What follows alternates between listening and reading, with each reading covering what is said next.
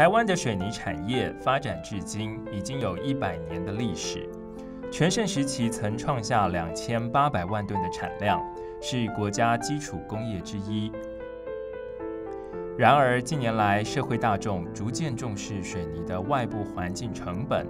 包括生产过程中因为高温窑烧所产生的二氧化碳，以及水泥开采过程中对于土地的破坏。亚洲水泥多年来也持续推动直升绿化与引进先进的收成设备，希望借由多方面的环境保护措施，能将环境伤害降到最低。在经济发展与环境保护之间，到底该如何取得平衡？而企业又该肩负着什么样的社会责任？这是我们必须面对的新课题。